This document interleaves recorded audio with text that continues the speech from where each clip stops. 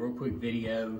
I'm assuming you pronounce that Floye, Floya, something along those lines. Uh, real sleek and narrow air purifier that just plugs in right there.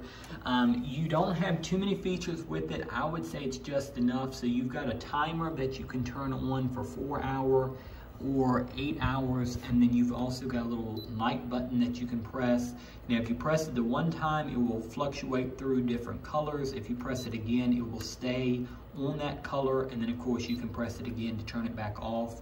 Um, right now I have it on sleep because if I turn it on high which is where I usually run it um, you would not be able to hear me talk. So I'm gonna go ahead and go through the different settings so that you can hear it um, and then I will go back to sleep and then I will talk more about it.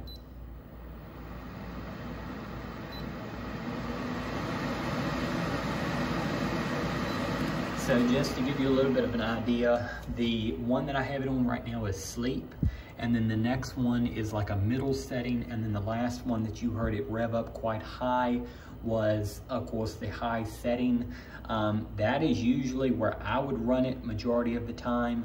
And then also when you put it on sleep, it will automatically turn off that light and of course it cuts the speed down. Um, other than that, you don't really have that many different um, features on it. You just plug it in in the back right here and then also as it mentions um, it's got a lifetime warranty. Now, I don't know if that's something that all the units um, will continue to have, but then also I wanted to show you real quick that all you do is you turn it over and then you turn that counterclockwise and then your filter goes down in here.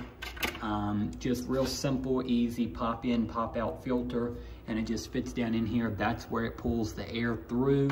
And then as you see all around the sides of it, it's got holes and it pulls the air through there.